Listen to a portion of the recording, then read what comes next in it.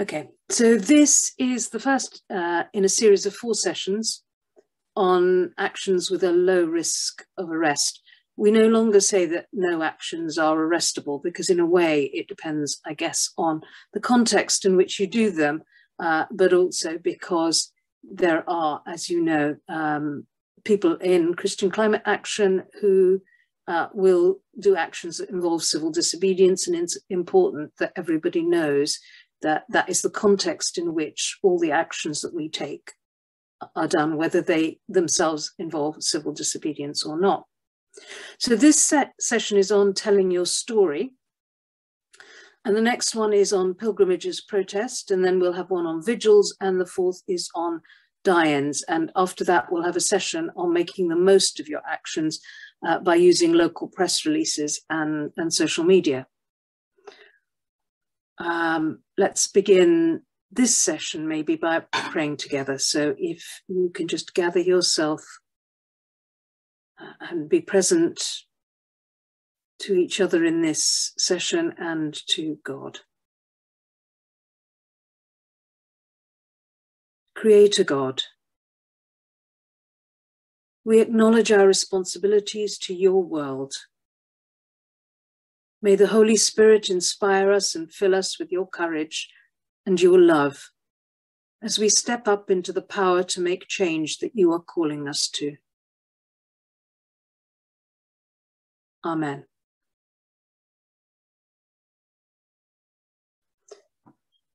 So, the first question that I want to start with is this Is storytelling, in fact, part of our mission of direct action? And I come to it from a position that I believe very strongly that it is. And that's for two reasons. And the first is because I think our more direct actions need explanations. And so part of our role as storytellers is to explain both the overall context of what we do and explain uh, specific actions. And I don't really warm to military analogies, but if I say we really need to help people to make sense of our battles if we're to win the war. And the second is that I think we need to help people to step up, to step into their power of action. And storytelling does both these things. And everyone can tell a story. So it can be the first sort of step into becoming more of an activist. Everyone can tell stories that help to build relationships and empathy and stories that inspire people to act and to stay involved. And we need to we need these stories really to generate empathy and support for our activism and stories that offer a sense of hope that inspires positive change. The stories of action and everyday courage. And I'm actually going to start, I think, with what we can learn from two recent academic papers. Uh, they're published in 2020 and 2021, so they really are quite recent. And I, I think it's because it's really important to be informed by what the research says before we launch into doing something. Uh, and there are other papers about this, but I've chosen uh, these two. Um, and partly the 2021 paper because it's a it, it kind of looks at a number of other uh, bits of research on this subject. So the point made by the 2020 paper feeds into this ongoing discussion about whether fear simply demotivates people.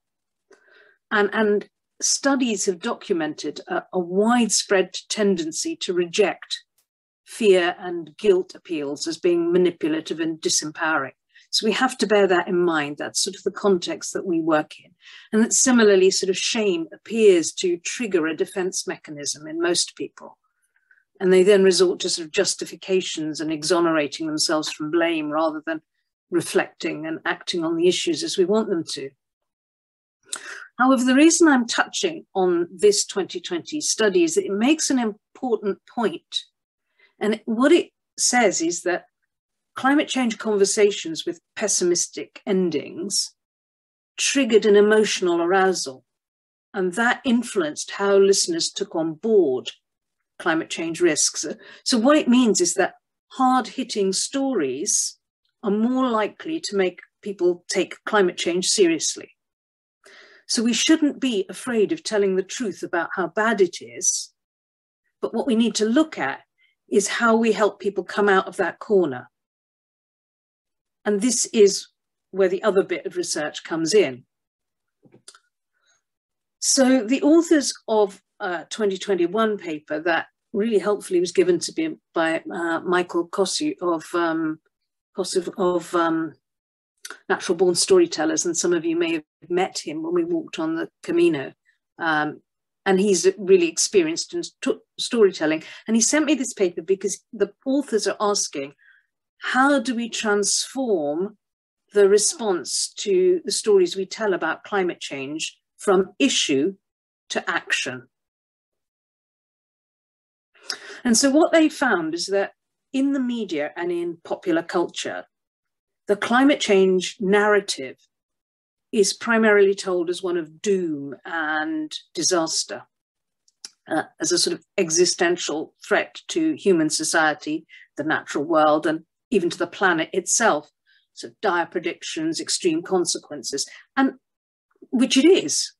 That's the message that grabs attention, and that we want people to understand.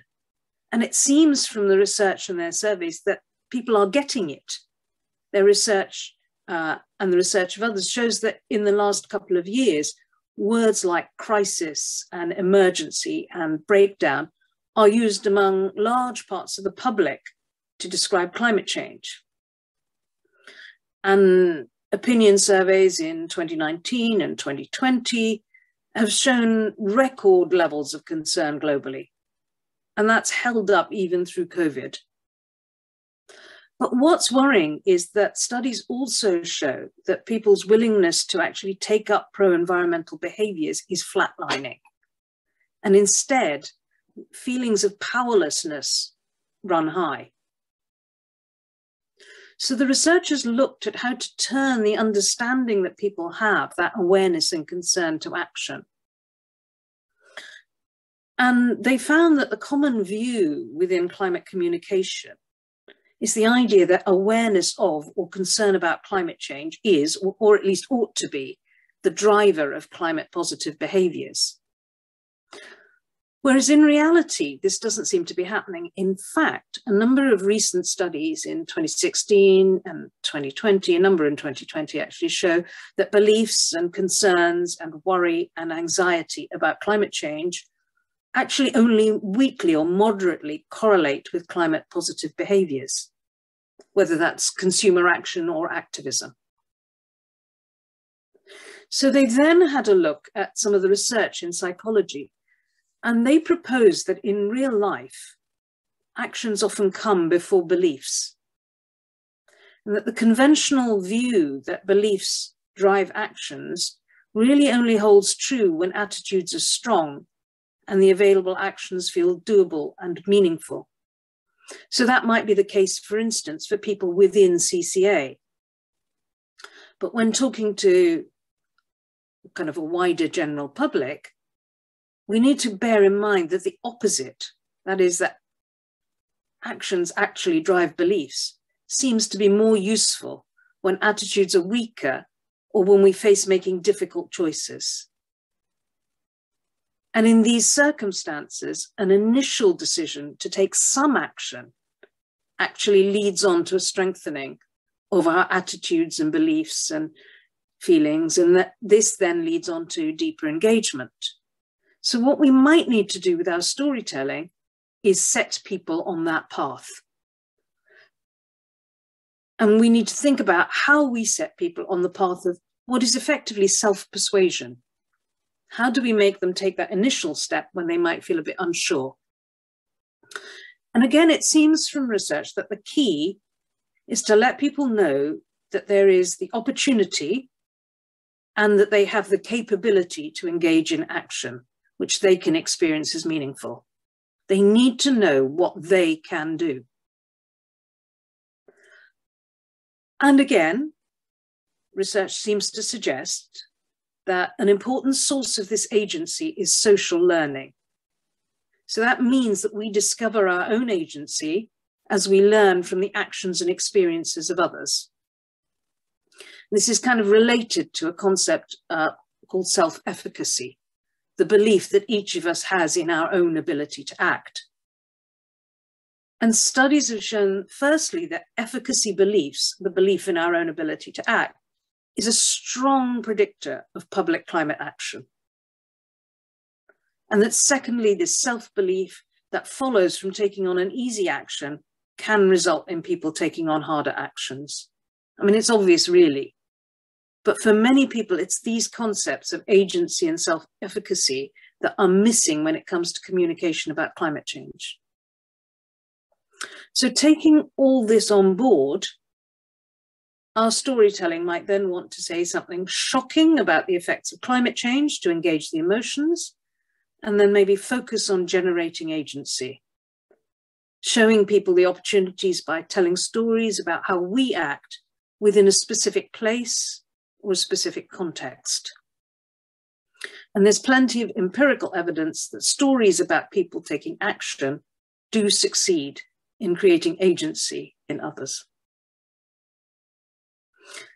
So having said all that as a sort of background, maybe let's look at some of the nuts and bolts.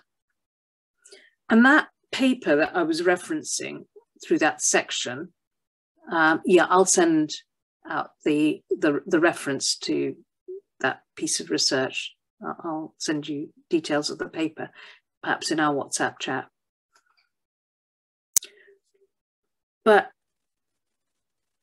the paper makes another really good point. In fact, it's a point made by lots of climate communicators, actually, that good stories that are carried in our hearts are generally about people, not about issues or statistics. And for both the audience and the storyteller, it can be overwhelming to think about something as vast or issue based or seemingly impersonal as global warming. And the antidote really seems to be telling stories about people. People made the climate crisis, people are impacted by it, people can act on it too.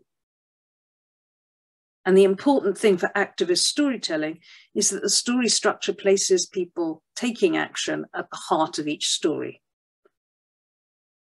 And the other thing is that there are numerous intersections with social issues that when you tell a story, you can personalize with your audience in mind. Things like racial and economic justice, women and families being at the forefront of the effects of climate change, immigration and migration, national security and health. You need to connect the dots with the things that the people you are talking to already care about. So maybe moving on then uh, to some practical things about how to tell your story effectively. the first and the probably the biggest piece of advice, I think, is not to worry about whether you think you're a good public speaker or not. This is actually just you telling your story. In a way, it's not public speaking, it's you in conversation. And the more you practice, the more confident you'll be about it. Go to the pub with friends, invite them to a kitchen table session. And you may have to fake a bit of confidence at first, because actually, in a way, engaging storytelling is one that kind of people think you're telling with a degree of confidence. But it will get easier. And for us as a, a, as a Christian community, I think it's really important that we don't lose sight of the fact that the Holy Spirit's there holding our hand through this. And a good story isn't complicated, but it does need a scaffold. So there are a couple of things that you need to think when structuring your story. And the first is your purpose. Why are you telling this story to this audience at this time? And then try and construct your story for your audience. Maybe it's helpful to look at it from the audience point of view. What will they take away that's of value for them? And in, unless you know you've got a niche audience, don't use jargon and keep the language simple. Kind of maybe aim for your language at someone who's finishing primary school or starting secondary school, and you'll know that you've kind of covered all your bases. I mean, that might not be appropriate for an audience if you're talking going into a school for instance and talking to a bunch of a level students. But if you're talking to the general public it, it's always good in your story to make sure that nobody feels left out or left behind by the language that you're using. The second thing to think about is that you need to have a personal connection.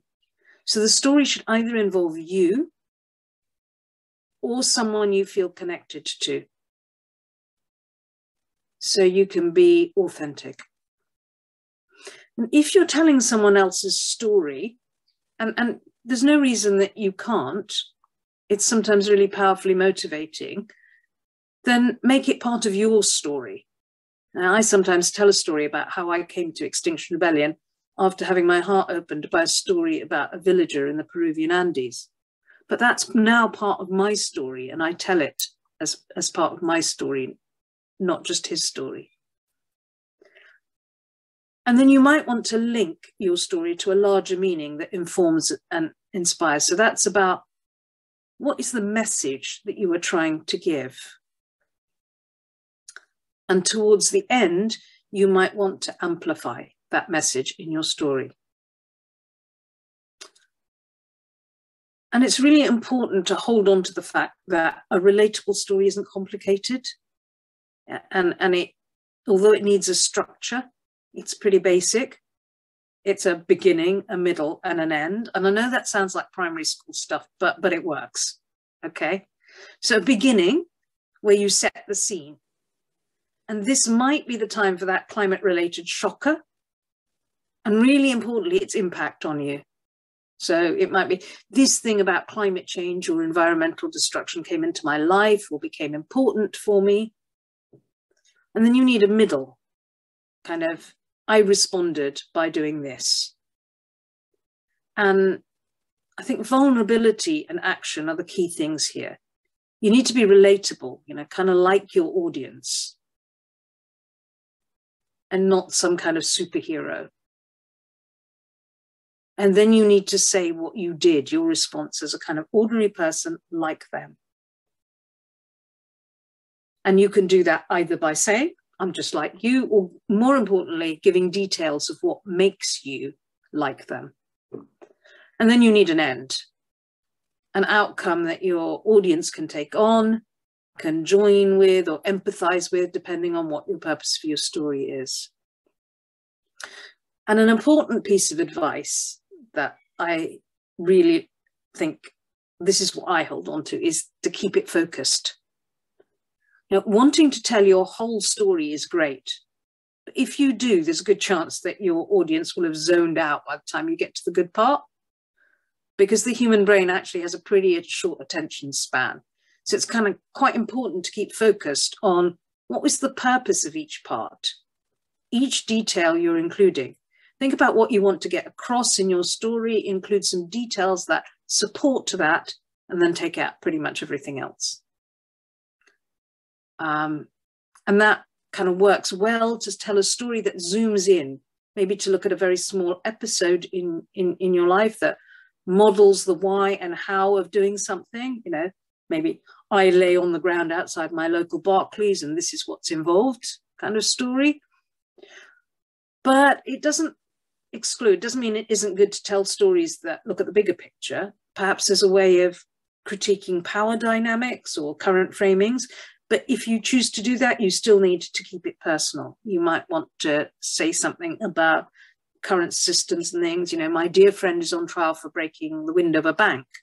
Yeah, I was deeply worried, but I understood why she did it. And then, you know, frame your story.